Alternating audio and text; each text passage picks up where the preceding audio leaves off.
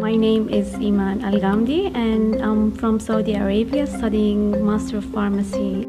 I chose uh, Gold Coast campus because it has a pharmacy college in it.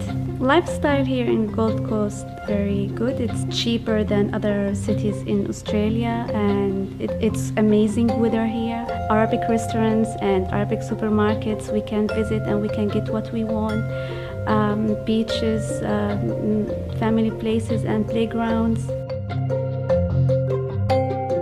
Student services is very good here in Gold Coast campus. There is uh, some people help me in the library how to write like literature review, how to do proofreading for their research and their writing. The international student advisor are the first point for international student. If they have any questions or if they need any assistance in their academic studies and to fit them culturally.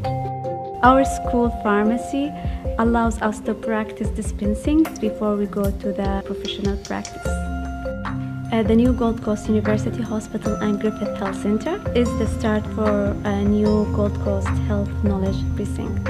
It's great to have researching, teaching, hospital all together in the same place, collaborate all the time with each other.